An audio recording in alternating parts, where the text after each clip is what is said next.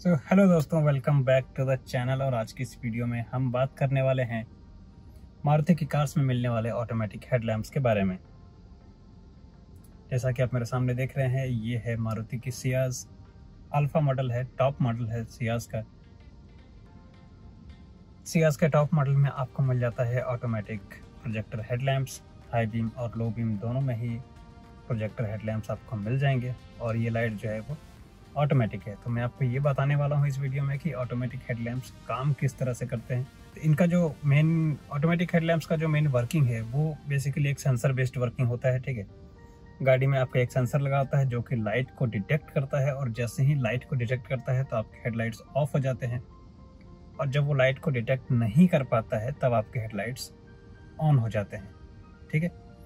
तो इसका लीवर आप यहाँ पे देख पा रहे होंगे।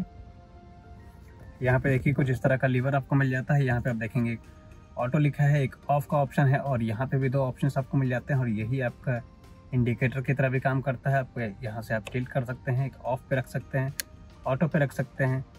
इस ऑप्शन पर जब आप करते हैं तो आपके डी ऑन हो जाते हैं, आपका इंस्ट्रूमेंट क्लस्टर ऑन हो जाता है, आपके जो एल्यूमिनेटेड एल्यूमिनेटेड बटन से है, वो सारी लाइट्स ऑन हो जाती हैं।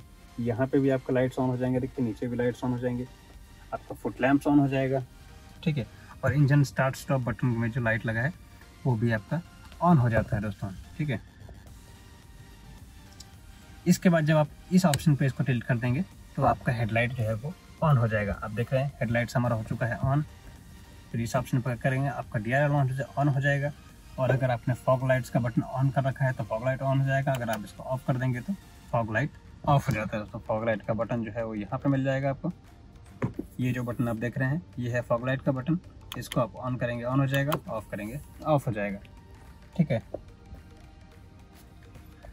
और जब आप इसको ऑटो मोड में रखेंगे, अभी क्योंकि गाड़ी ऑन नहीं है, गाड़ी का इग्निशन ऑन नहीं है, ना ही है, मैंने पुश स्टार्ट बटन को प्रेस किया है, इसलिए सारी लाइट्स ऑफ़ हैं।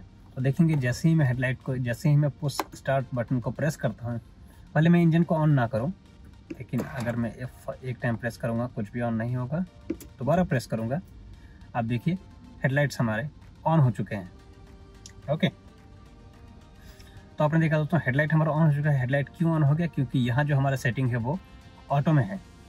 अगर मैं इसको यहाँ से ऑफ़ कर दूँगा तो हेडलाइट हमारा ऑफ़ हो जाता है। ये सारे जो इल्यूमिनेशन की लाइट्स है, वो सारी इल्यूमिनेशन की लाइट्स ऑफ़ हो जाएँगे। मैं इसको ऑटो में रखूँगा हेडलाइट ऑन हो जाएगा। इसके बाद दोस्तों, अब मैं आपको बताता हूँ कि इसका सेंसर कहाँ पे लगा होता है, कहाँ से ये लाइट को डिटेक्ट करता है। अभी जो बाहर का जो कंडीशन है, वो एक्चुअली में लाइट डिटेक्ट उतना नहीं कर पाया जितना लाइट इसको चाहिए, ठीक है? तो इसका सेंसर मैं आपको दिखा देता हूँ। सेंसर दिखाने के लिए हमें चलना पड़ेगा गाड़ी से बाहर। वैसे गाड़ी के अंदर से भी दिखा सकता हूँ बट अंदर से आप उतनी अच्छी तरह से देख नहीं पाएँगे। तो चलते हैं गाड़ी के बाहर और गाड़ी के बाहर से मैं आपको दिखाता हूँ कि वो सेंसर कहाँ पे लगा होता है। सेंसर की पोजीशन दोस्तों अलग अलग गाड़ियों में अलग अलग हो सकती है, बट मोस्टली जो सेंसर लगा होता है वो डैशबोर्ड पे लगा होता है। अगर आप स्पेशली ब्रेजा गाड़ी में देखेंगे तो ब्रेजा में आपके सेंटर में आपको मिल जाएगा, सेंटर में जहाँ गणेश जी लगा है, उसके पीछे में आपको ब्रेजा में मिल जाएगा। और यहाँ सियाज में आपको मिल जाता है, यहाँ पे मिलेगा सेंसर। देखिए, ये जो आप सेंसर देख पा रहे हैं, ये है हमारा लाइट का सेंसर। तो ये जो है बेसिकली लाइट को डिटेक्ट करता है। अगर मैं अपने मोबाइल की फ्लैश लाइट को ऑन कर दूँ तो अब आप देखेंगे दोस्तों, जैसे कि मैंने फ्लैश लाइट को ऑन कर रखा है और हमारा जो लाइट है वो ऑटोमेटिक में है। अगर मैं इस लाइट को सेंसर के पास ले जाऊँगा, हमारा हेडलाइट देखेंगे आप हेडलाइट हमारा ऑफ़ हो जाएगा। अब देखिए।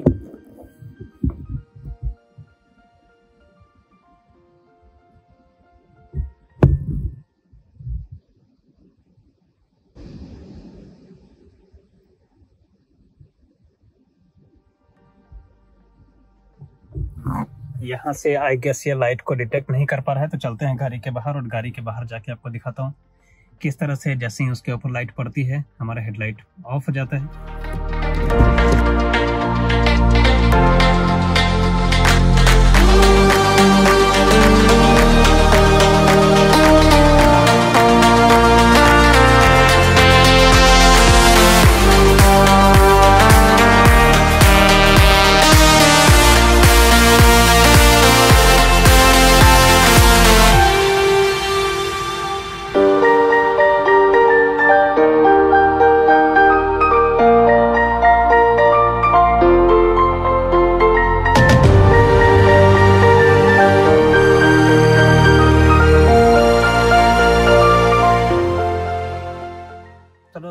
किस तरह से हमारी गाड़ी का जो हेडलाइट का जो हेडलाइट के लिए सेंसर लगा है वो डैशबोर्ड के लेफ़्ट साइड कॉर्नर पे लगा हुआ है।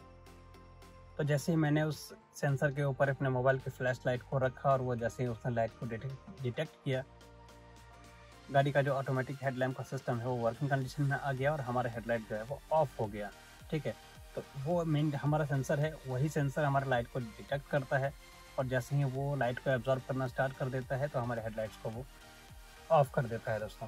तो अभी क्योंकि बाहर में इतनी ज़्यादा लाइटिंग नहीं है एटमॉस्फेयर में इतनी लाइट नहीं है, जितना कि सेंसर को चाहिए हेडलाइट्स को ऑफ़ करने के लिए।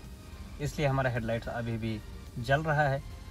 तो जैसे आप देखेंगे, धूप के कंडीशन में क्या होता है कि जैसे धूप में तो लाइट इतनी इतनी ज़्यादा आती है कि पूरी गाड़ी जो है ब्राइट रहती है हमेशा और लाइट जैसे उसके ऊपर पड़ती है। सेंसर हमारा सेंसर हमारा वर्किंग कंडीशन में आ जाता है और हमारी हेडलाइट ऑफ़ हो जाती है। और जैसे ही मैं वहाँ से मोबाइल को हटा रहा था जैसे ही अंधेरा हो रहा था, वैसे ही हमारी हेडलाइट जो है वो ऑन हो जाती है। तो इस हेडलाइट्स को ऑन और ऑफ़ होने में कुछ सेकेंड्स का डिले होता है, वो टेक्नोलॉजी का इशू है, उसके लिए तो कुछ नहीं कर सकते। तो इस वीडियो को बनाने का मेन मकसद मेरा यही था कि मैं आपको ये बता सकूँ कि सेंसर कहाँ पर प्लेस होता है ऑटोमेटिक हेडलैम्प्स को यूज़ करने के लिए।